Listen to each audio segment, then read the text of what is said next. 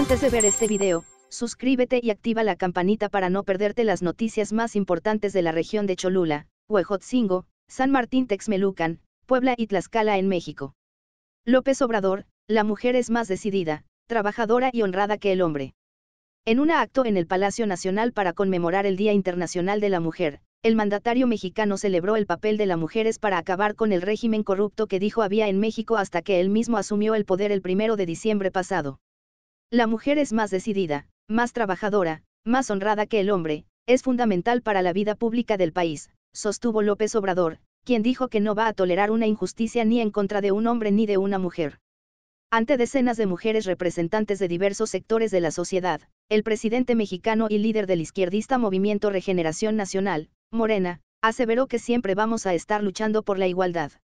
Sin embargo, gran parte de su discurso lo dedicó a hablar sobre su plan de gobierno, al que llama la cuarta transformación de la vida pública de México después de la independencia, las reformas liberales del siglo XIX y la Revolución Mexicana, en lugar del movimiento feminista.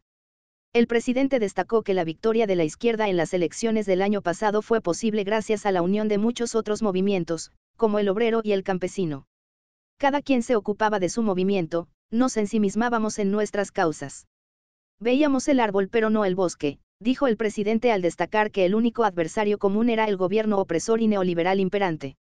Celebró que todos los movimientos sociales se unieran para cambiar el régimen corrupto, al que algunas de las mujeres presentes en el acto añadieron a gritos el adjetivo de patriarcal.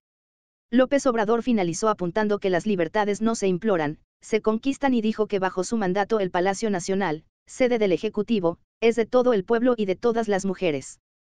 Por su parte, la secretaria de Gobernación, Olga Sánchez Cordero, se mostró orgullosa de ser la primera mujer en ejercer este cargo, pero lamentó que 66% de las mujeres de México hayan sufrido episodios de violencia. Vamos a continuar trabajando con pasión y con solidaridad y justicia para que en el futuro la defensa para ampliar las libertades sea una realidad en los derechos reproductivos, de participación política y en otros campos de la vida profesional, sostuvo. La directora del Instituto Nacional de la Mujer, Nadine Gassman, homenajeó a las generaciones de niñas, jóvenes y adultas que tuvieron que superar las barreras que el patriarcado ha sembrado en todos los rincones del planeta.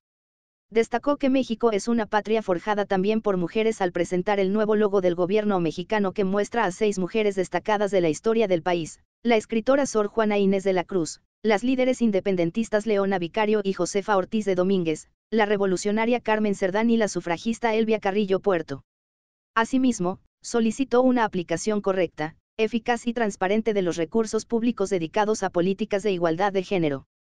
En las últimas semanas, ha estallado una grave polémica con la decisión de López Obrador de paralizar la entrega de recursos al programa de albergues para mujeres que han sido víctimas de violencia.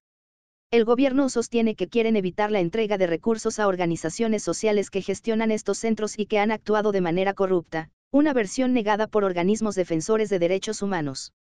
Comparte este video, regálanos un like y comentalo, tus opiniones sobre esta noticia, son bienvenidas e importantes para todos. Accede a los links que aparecen en la descripción de este video, en ellos podrás encontrar algunas interesantes ofertas y conocer de nuestros auspiciadores.